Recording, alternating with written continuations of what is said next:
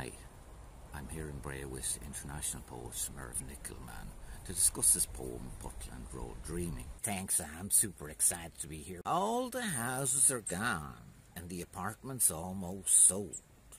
Apartments almost sold. I went show house viewing on the Putland Road. On the Putland Road.